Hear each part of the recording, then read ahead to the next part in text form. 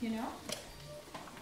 I have Katie's um, Fisher Price workbench that was wooden. You remember that, Kate? Mm-hmm. I have that ready for Hi, buddy. boy. It's a little, it needs a little help. Maybe I'll have um, Randy take a crack at it. You know? Are people eating or? Yes, I'm ready to give somebody this lovely, I did overcook it on purpose because I didn't. Wow.